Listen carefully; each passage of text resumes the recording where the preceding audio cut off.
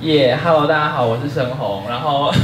上半场两个讲者真的是太厉害了，所以我在这边就是一个不知道讲什么，但是就是大家可以听听我的故事，就是呃跟大家做一些分享。因为我自己的话本身是，哎，这张照片好丑，对，就是我的那个 title 是下跨领域实习生，但是我刚刚发现在座大家好像都比我更加的跨领域，而且经验比我丰富，所以就是其实我就是跟大家分享，如果大家有什么问题的话可以问我，然后。呃，这个的话是我本人，然后还有我从就是大学的时期所待过的实习公司，然后我就是很随性的放了 logo 上去，对。然后呢，呃，我先跟大家介绍一下，就是我自己的话，呃，大学的时候是就读那个政治大学外交学习。那我自己待过的实习单位的话，有广播电台，还有就是这三个是一起的，它是那个田鸡发野的烧肉的那个现场 DJ，对。然后，嗯。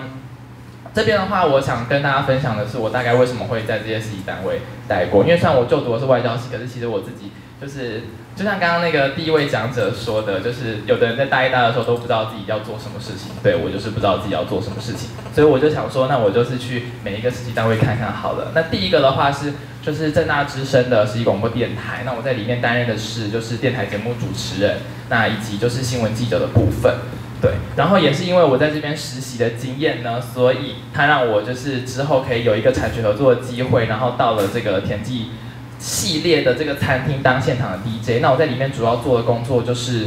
呃现场活动的支援，然后以及就是播歌，就是大家点歌的话，我就可以帮他们播歌，然后带一些活动。对，然后呃接下来的话，我是去了那个。真的是有点乱了，但大家就看看就好吧。反正就是 有点像那个兄弟兄弟像的球衣，把 logo 都放上去。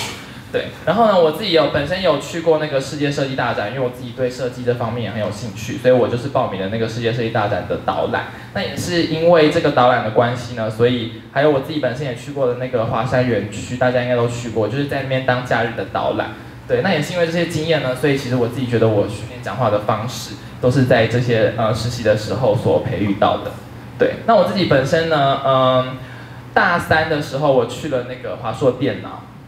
就是大家也知道，就是如果大家很热衷于找实习的话，就是科技实习三大龙头就是那个呃华硕、微软、Intel，就是对大家都会找这个地方的实习。那我本身是三间都有报，但是后来因为华硕结果公布比较快，所以我就去了华硕。那这边的话，我比较想跟大家分享的是在华硕这边的经验是。呃，因为其实呃，不知道大家有没有人有去过刚刚那个科技三大龙头实习过？啊，我就不能讲坏话了，没有。所以我自己在华硕实习的时候，就是被分在那个业务组，所以业务组其实他们不太会给那个实习生太多的事情做，因为他们就是觉得是把实习生当成一个有点像业务的感觉。所以我自己在那边实习的时候。就是他们就是比方说有活动台叫我们去支援，那支援的时候就是会跟我们说要当产品介绍，但是其实他没有给我们任何的事前的产品训练，所以其实产品呢我们都要自己去找。那这个时候呢，就是其实实习生们之间，因为我们那时候大概有呃四五十个实习生，但是后来大家其实都有一点散，最后剩下一二十个人在一起。然后那时候我们一二十个人就在想说，可是再这样下去的话，我们来这边实习不就是白来的吗？所以我们那时候就自己想说，OK，那我们自己要做一些。不一样的事情，让就是公司看到我们，所以呢，我们那时候就自己独立的发起了一个，我们要写产品宝典，然后我们就，呃，我们十几个人就开始分工，因为我们那时候就是大家都来自各种各种不同的科系，就有的像我自己来自外交系，然后那时候有气管系，有什么机械系。然后我们就开始把自己的专场分工之后，就开始编宝典，编宝典。然后我们永远抢在就是公司的产品一发布之后，我们就写出那个产品宝典，然后我们就传下去，让就之后实习生也可以看到。然后我们也跟公司说，就是其实我们自己实习生可以做的事情有很多，就是呃，就是希望公司可以就是给我们更多的机会。那在里面的话呢，其实我蛮想跟大家分享的有一点是。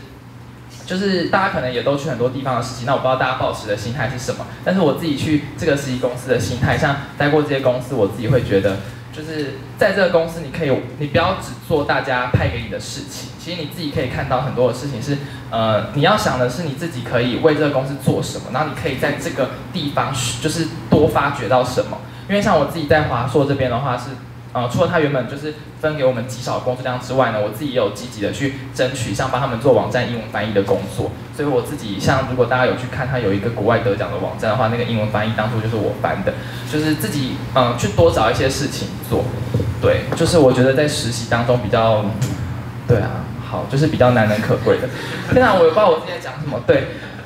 然后呢，嗯，因为我自己其实比较随性的这样子讲了，那我不知道大家想要比较听到的是什么。然后我自己的话，在去年的暑假有跟嘉怡一起去那个活动通实习。对，那活动通的话，这边在座有人听过活动通吗？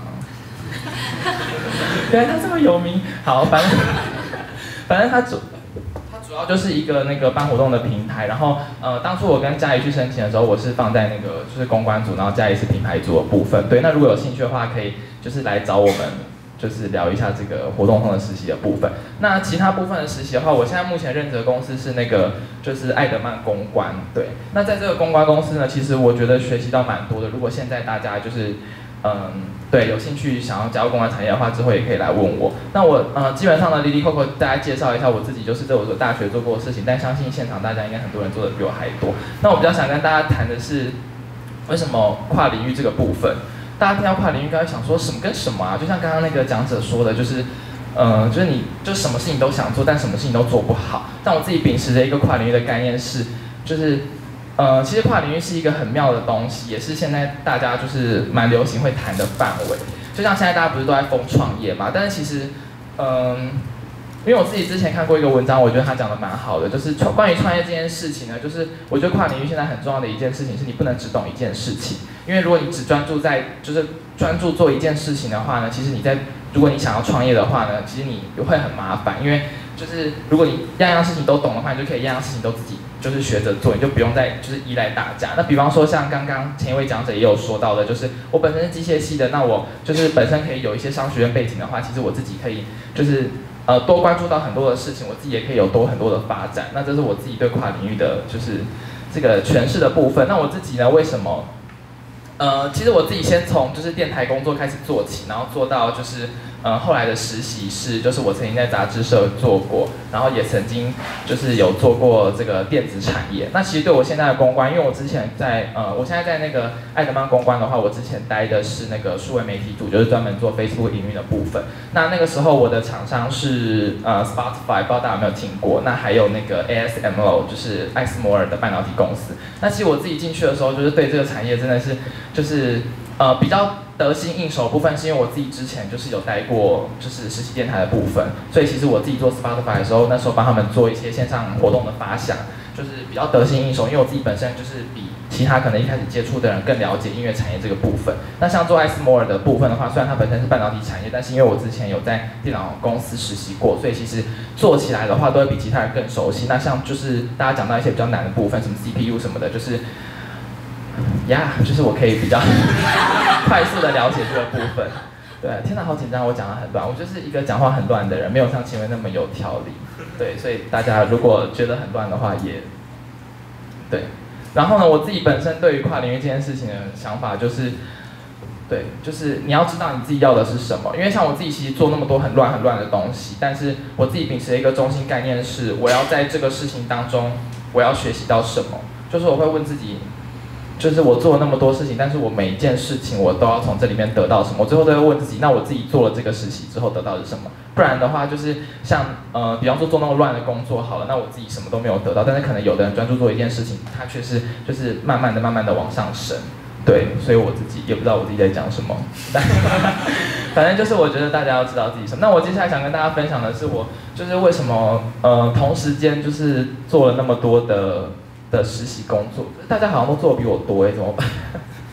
好了，那我自己就小小的分享了一下我时间管理的一个小秘诀。那其实我自己会有整理这个时间小呃时间管理小秘诀，是因为我自己在公关公司的这个实习的经验。因为嗯，就是我现在本身除了在爱德曼公关之外，我自己就是空闲的时间我也在 Uber 担任那个就是实习的工作。对对对，那。嗯，就是我觉得这个是时，呃，大家的时间一天都只有二十四小时，那如何就是，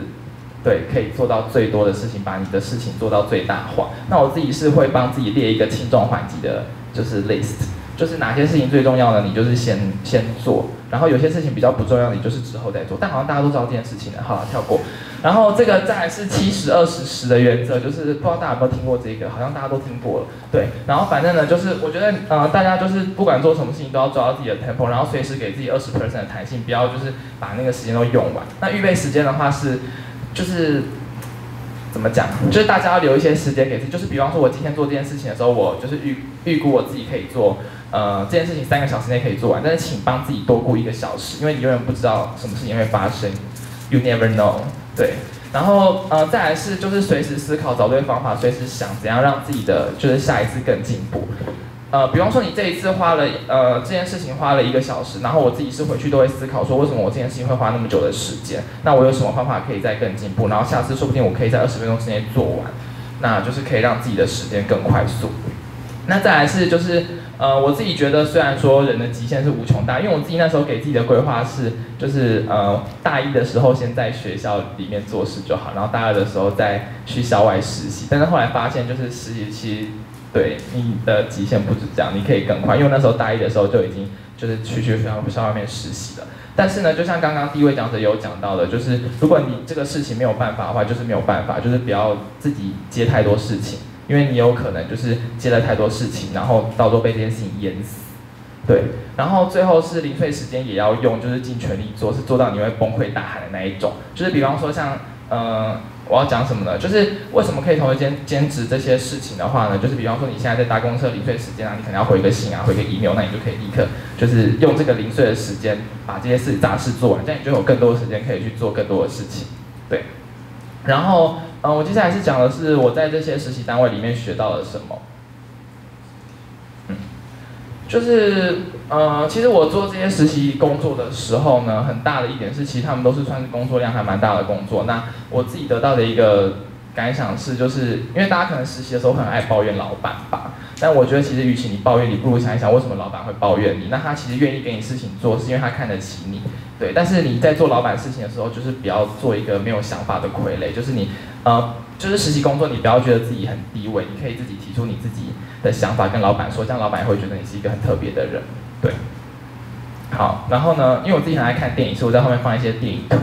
对。然后这是穿着 Prada 恶魔，我觉得如果大家就是有实习工作的话，可以看一下。对，因为我觉得他就是讲到蛮多不错的概念，然后呃，它里面说呃，反正就是呃，我觉得大家就是不要一味抱怨啦，就是凡事换个事情角度想，然后想想你来这里实习到底是希望得到什么。对，好，然后这个就是我自己，我觉得他很像那个电影，就是我介绍了这个人，就是他叫周全，他是不带鼻演的，但不是，我只是想说，就是就是大家呢在实习工作的时候，就是凡事都要想的深，想的广，就是这四个重点是我觉得实习的时候大家可以。可以蛮注意的，就是一个态度的问题。因为其实你不管做什么事情，大家都会就是看着你。那实习工作其实蛮重要的，就是你可以累积你的人脉存折。然后不论是你当时的上司、同事，或者是一起工作的伙伴，说不定之后都是你未来的助理。对，那凡事都是想的周全，就是你要预备一个 Plan B。就是呃，是我在公关公司的时候，就是呃，比方说老板丢工作给你的时候，你都要先他一步想到什么，这样子老板其实会比较重用你。啊，其实我也真的不知道我在讲什么。然后这是我自己学习到的几句话，然后大家可以看一下。就是主要我只是想讲的是，就是我想营造一个那种，你知道，很像很多话的感觉，但其实就只有几句话。然后关注世界的脉动是我这篇想要讲的，就是随时关注自己，来关注这个世世界发生了什么事情。因为就像我刚刚讲的七十二十十的原则，这样子你才可以，就是有更多的时间去知道你接下来要做什么。对对对，好，然后这个是。为什么会放这一页 PPT 呢？是因为，就是你永远不知道你自己要做的是什么。因为像我自己，就是原本其实想做的事情是，你知道这些很虚华的产业，但却不知道我现在做的这个，对公关工作，就是我一直，因为我以前就很讨厌坐办公室，但我现在就是一直在办公室里面修改那个 proposal 之类的 something。对，然后这是我自己很喜欢的一句名言，分享给大家，就是，呃，他说 Life is isn't about waiting for a storm to pass. It's about learning to dance in the rain. 就是大家不要害怕未来有什么危险，对，然后跟着自己的节奏和世界一起舞动吧，耶！然后我也不知道我讲了什么，但就是跟大家这样分享。那有问题的话可以 Q A 问我。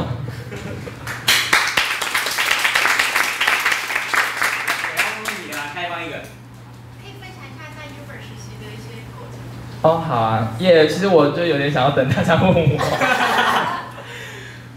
好，因为我是一点没有想法的。然后呃，在 Uber 实习的经验的话，就是其实在里面我主要做的是帮忙，就是呃司机验车，然后还有帮他们做资料的整理跟就是回复客诉性的部分。对，然后。嗯，大概就是工作的项目的内容。那我觉得在里面学习到比较蛮多的是，因为他们里面的员工都是就是 A B C 国外过来的，然后因为他们是美国来的，所以他们出信往来都是用英文。所以如果你本身就是对英文有兴趣的话，其实在里面他们可以教你蛮多的。那因为我本身就是对车子很没有研究，但是因为进去里面，其实我就是对于车款还是车子的性能就是有蛮多的认识。所以我觉得如果你本身喜欢车、喜欢英文的话，就是蛮适合去那边的。哦，对，然后我们也会去一些那个产品的活动推广，像我这礼拜三就要跟他们去迪欧的发表会，就是宣传。所以我觉得，如果你本身也喜欢一些这种 fancy 的产业的话，就蛮适合的。嗯，谢谢大家。